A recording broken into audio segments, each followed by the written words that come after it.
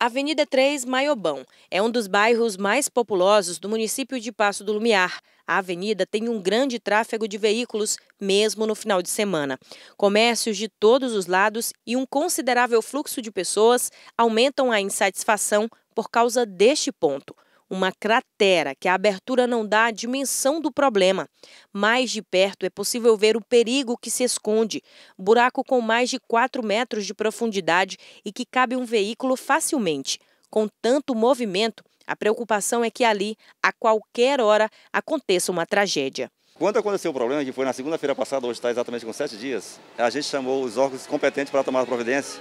Vieram aqui no mesmo dia, mas até então só olharam o problema e acharam que o problema era muito pequeno. A gente sabe que não é pequeno, é um problema gravíssimo que pode lesionar, é, cair um, um, um, ônibus ou, ou sei lá, um, um carrinho de, é, de, transporte alternativo ou uma van e lesionar várias pessoas e até causar um acidente, derrubar um prédio aqui, porque o buraco é muito grande, é um negócio gigantesco.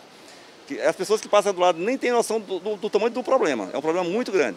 Então vieram aqui, mas nenhuma providência foi tomada. Eu acho assim, acho que é um descaso com, com, com com, com, o, o, com as pessoas, é, com, com, até com os comércios de, de, de, aqui de perto, que podem é, sofrer um, um, um, sei lá, um prejuízo maior e lesionar muitas pessoas. Porque se cair um ônibus nesse negócio aqui, vai ter prejuízo material e, e da, das pessoas também, porque as pessoas vão, vão ser lesionadas, com certeza, porque é um negócio aqui que dá mais ou menos uns 12 metros de comprimento, uns 5 metros de profundidade, é um negócio muito grande. E a gente vê que, que o, poder público não está nem aí, não está nem aí para as pessoas.